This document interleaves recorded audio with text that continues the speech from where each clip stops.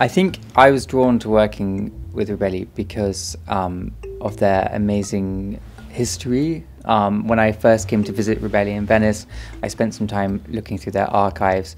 And I mean, it's incredible the kind of work that they've done in the past. Um, and also their technical ability, I mean, what they can make is, is, is just amazing. For this collection, we've done this huge range of sort of prints, but jacquard, you know, jacquard, silks, cottons. Um, so the kind of range that they can do is, is really amazing.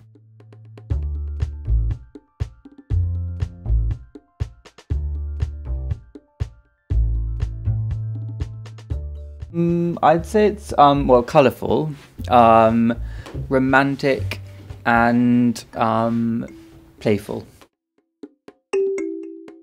This pattern I completely sort of drew by hand, and then we turned it into a repeat pattern. Um, so I love this one.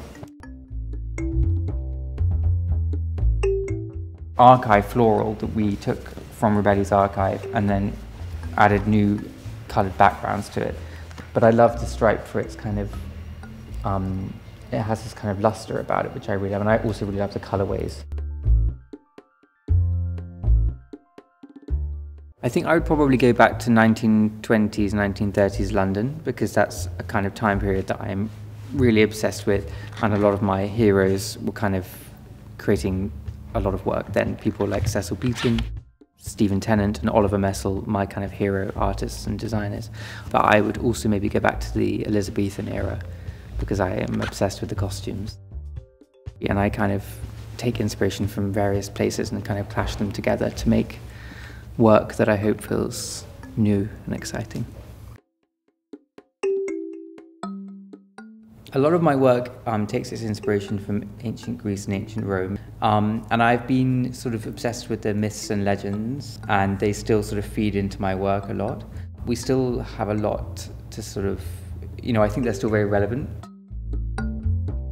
Um, and Rousham is about 20 minutes from me, and it was designed in part by William Kent with the fabric. So it's this kind of um, rambling design with, you know, trees and plants, and then hidden amongst the trees and plants you've got temples and urns and sort of classical figures peeking out from behind leaves.